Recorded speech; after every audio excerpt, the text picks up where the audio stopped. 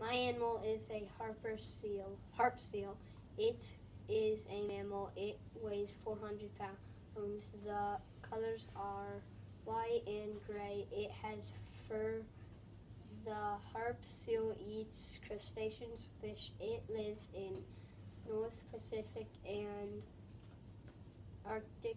It its predators are the killer whale, sharks, and polar bears. Its lifespan is 30 years. A harp seal teeth only grows when it eats.